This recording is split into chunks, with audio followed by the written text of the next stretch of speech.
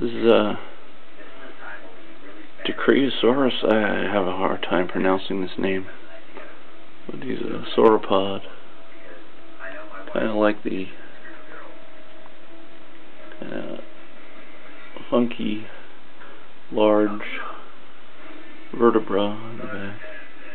And then the skin folds. I like the skin folds.